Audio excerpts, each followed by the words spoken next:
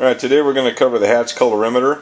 This is what we used for testing of potable water out in the field uh, during a disaster. This is the kit itself right here and, and these are the two associated low standard and high standards. As you open up the kit you can see the uh, colorimeter here, uh, associated glass vials, uh, DPD reagents for total chlorine, and free chlorine. Okay, I've taken most of the stuff out of the uh, the box. As you can see, uh, here are the uh, free chlorine, what they're called uh, pillows, which have the uh, DPD reagent, these little pillows here, which would be used for each particular vial to test for free chlorine. Uh, these are the vials themselves. These two are made out of glass and have a little white diamond on them. The other two are made out of plastic. The uh, two made out of glass are used for the low chlorine range, and the two made out of plastic are used for the high chlorine range. The uh, unit itself, we'll go over the parts and pieces in one second. Um, we also have uh, standards that are used as a bump check. You can see here that um, this one would be a blank, and as it starts to get darker in the pink color, the more chlorine would be. Alright, let's go over some of the uh, parts on the uh, Hach colorimeter. Um, it has a removable lid here, which you can take off. The um, sample port is down here, so if you had a vial, you would take the vial with the uh, indicator here, which is uh, the white arrow pointing down, or the diamond for the real sample vial. This is actually a blank, and that would go into this hole here, and that would be lined up center. The uh, cap goes on top to keep any extra light out. Now, as far as the uh, the menu functions go on the uh, colorimeter here. The um, you have a power button here, which I'll turn it off for a second. So we've powered off the unit just by a simple quick touch of this uh, power button here, which is also a backlight. You can click that once uh, and it comes on. There, this is the menu function button here. You can click the menu function button and it will go over to the top left where it's blinking it says low range or you can select the toggle button here. It'll jump over to high range. So you want to make sure you're in the right range for what you're testing. So I'm going to punch it back over to low range which is kind of hard to see here. And then I'm going to hit select with the menu function.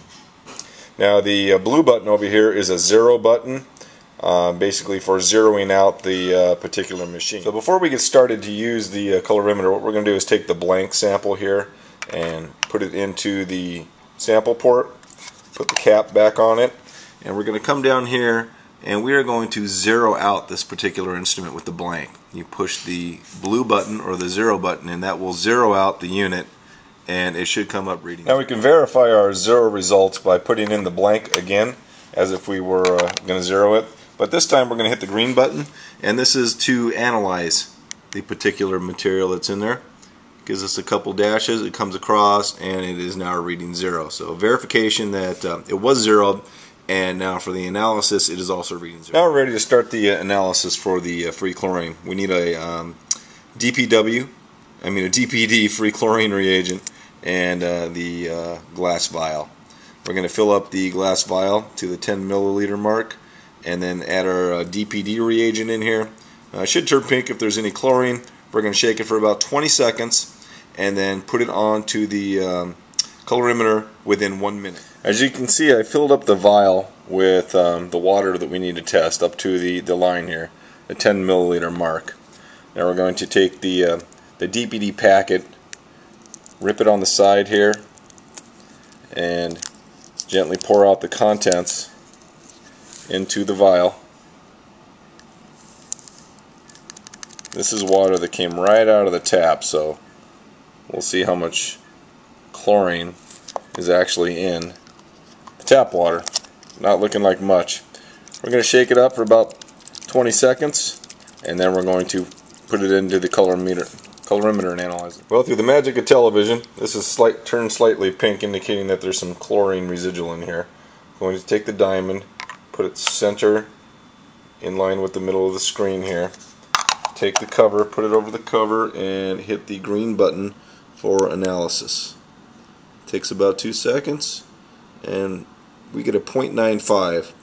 Now, the chlorine residual in the state of California cannot be less than 0.2, 0.2 or greater than 4.0. So this would be considered potable water. Once you're done, you're going to want to discard this to the sewer and uh, rinse this out with some deionized water so it's nice and clean or some bottled water um, so you don't have any uh, chlorine residual left over for your next. Do you have any question as to if your uh, colorimeter is working co correctly? You can use the um, standards that we purchased. Uh, there's the blank uh, and standard 1, 2, and 3 which indicate different levels. Uh, certificate of analysis is here which also correlates to the blank, standard 1, standards 2, and standard 3 and you could come down here and look at the pocket colorimeter 2 come across and this says. 0.22 plus or minus. 0.09 so if it's within that range for standard number 1 we know that our colorimeter is working correctly. And this is reading at um, 0.18 over here it says that it should be 0.22 plus or minus 0.9 so 0.18 is only um, four away from that, so it's working correctly. And then we could go up uh, correspondingly on the scale here to ensure that it's uh, working correctly. It's not a calibration, it's more of a bump check. Uh, if you needed to uh, return to the factory defaults for calibration, we could do that in the manual, but it is factory calibrated. It should not need to be calibrated by the user. I do want to remind everybody that there's two basic things that we're going to be looking at for water sampling. Um, one being water at shelters. Um, the approved state hauling tankers that come in for potable water, we want to ensure that those water tankers do have adequate chlorine residuals. That is one of our responsibilities to check the chlorine residuals. The other being uh, checking um, small water uh, small water systems for chlorine residuals also, but also to take uh, samples for bacterial analysis. Uh, and there are specific uh, water sampling protocols that um, are on the S drive under the disaster. This is the water sampling protocols in the uh, the disaster plan here, developed by Land and Water Quality and uh, the DOC basically, which uh, specifies you know sample holding times, water uh, sample chain of custodies, how to take a sample, what sample containers are needed, uh, dechlorinating agents, um, sterilizing agents to uh, sterilize the taps and whatnot uh, as we've practiced in previous trainings. Um, if you have any questions regarding this, you can get a hold of uh, Land and Water Quality regarding the um, aseptic sampling procedures. Well, that about sums it up for using the Hach um, pocket colorimeter and um, I hope this uh, little training vi video makes it um, makes you a little bit more comfortable with the system and easier to use out in the field. Thanks.